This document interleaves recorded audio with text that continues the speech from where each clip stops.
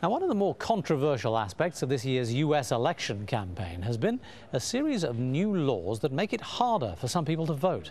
Dozens of states across the US have passed laws that could restrict voting. The Democrats have accused Republicans of trying to block legitimate voters. Republicans say they're just trying to stop fraud. John Hendren reports from Ohio. For Teresa Sharp, the outrage came by mail seven letters from the local election board saying someone had challenged her entire family's right to vote. I'm like, how can somebody challenge my right to vote? A conservative group called the Ohio Voter Integrity Project complained the Sharps, all Democrats, were illegally registered at a vacant lot. The letters were sent to that same address where their house has been standing for 67 years. They're trying to scare folks not to vote. That's what I think, because they don't want Obama in. The Republican led efforts have spanned the U.S. in the name of voter integrity. Democrats, including the president, have another phrase for it vote suppression. We should be thinking about ways to make it easier for folks to vote, not uh, to make it harder for folks right. to vote. The effort is especially strong in key swing states like Ohio. In Lancaster, Ohio, so called voter integrity groups tried to strip voting rights from 109 people. The local election board investigated and rejected challenges to 107. Two were dead. The Ohio Voter Integrity Project did not respond to our interview requests. Billboards in poor black neighborhoods threaten jail terms for voter fraud. 33 states, nearly all led by Republicans, have passed laws with strict new rules requiring voter identification, adding new costs the poor can ill afford. The ID laws may be common in other countries, but here they remind many of the days when riots broke out over ID laws and taxes at the polls that kept blacks from voting. We do have a history of, in this country of poll taxes being used as a way to prevent African Americans from voting. And if the ID itself costs money, then it is very similar to a poll tax. In the strictest states, 11% of eligible voters lacked the proper ID, according to a New York University study, especially blacks, Hispanics, and the elderly, who tend to favor Democrats. Here at the polls, it's not clear the efforts to purge voter rolls have found much evidence of fraud. It's also not clear how many legitimate voters are too discouraged to come here at all. Teresa Sharp says 94 voters were challenged the day she made her case to the Elections Board, but few showed up. I didn't see no evidence of 94 people. All I saw is the evidence of seven people, you know? And I wasn't going to let them mess with me or my children. If anyone was trying, it didn't work. The election board approved Sharp's registration. She and every member of her family voted early for Barack Obama. John Hendren, Al Jazeera, Ohio.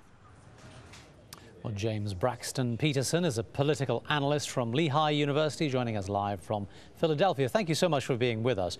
Just give us an idea of how significant this trend has been. Are there enough new laws that could tip the balance of this election? This is extremely significant. Many leaders in America think of this as the most important civil rights issue of the particular of this current moment. There are a number of different tactics that have been used in the effort of voter suppression, including Republican state legislators in creating all these voter ID laws, including the billboards um, that you see threatening fraud. Uh, there have been some groups on the right uh, on the right wing of the Republican Party who've been organizing these so-called poll watchers, which are really more like voter intimidators that are going to be on site. And so when you look across at all these different tactics, what you see is there's been a concerted effort to disenfranchise those voters who would most likely be voting for the Democratic Party. Are all these new law proposals and uh, uh, tactics that you've been talking about all being generated by the Republican Party?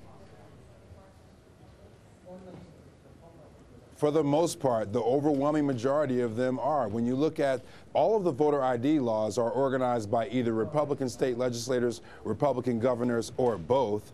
Um, when we when we dig behind this or dig into the surface or beneath the surface of these billboards that we see in different inner city communities, those are also right-leaning and right-wing groups that are organizing them, as are the poll watchers. And so, so it does seem to be political right on its outset. And, and even if even if it's not, the end result is is that the preponderance of voters that are being challenged, whose IDs are being asked for, whose registrations are are being challenged um, are, are, Democratic voters. And so the result, I think, requires us to address it from the political angle as well. Well, if it is, as you say, then why am I not hearing an outcry of protest, not only from the voters who have been disenfranchised, but by the Democratic Party?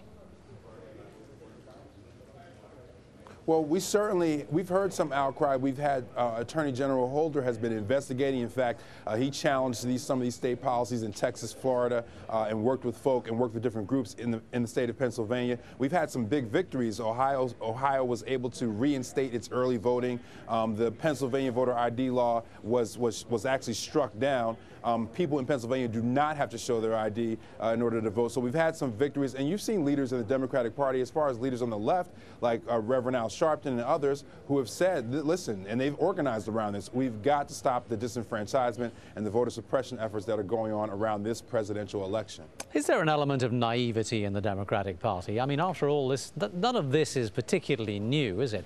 Uh, in uh, John Hendren's package there, we hear about the history of all of this. And my recollection from the 2000 elections was um, Katherine Harris in Florida purging voter polls, uh, Tom DeLay in Texas a couple of years later redistricting. Wow, right. I mean, this goes on all the time.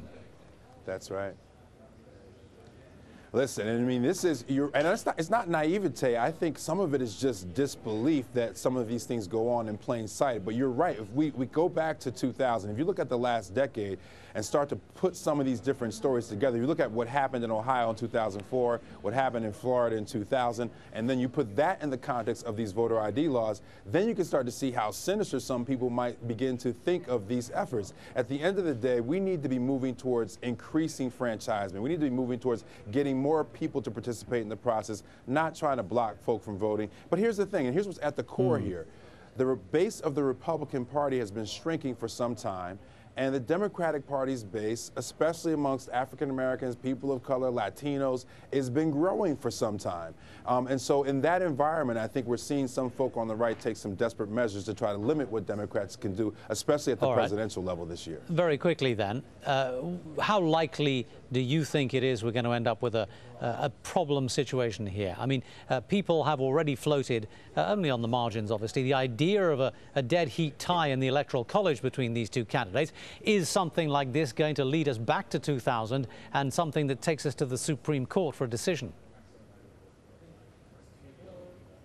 I don't think that we're going to have any kind of electoral tie. You, there's a slim chance of the uh, uh, popular versus electoral split, but I don't. No matter what the decision is on November 6th, I can guarantee you there are going to be a lot of people complaining on November 7th.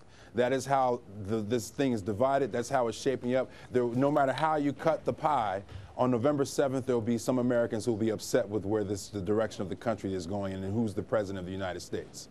I suspect so. James Braxton Peterson, thank you very much indeed for joining us from Philadelphia.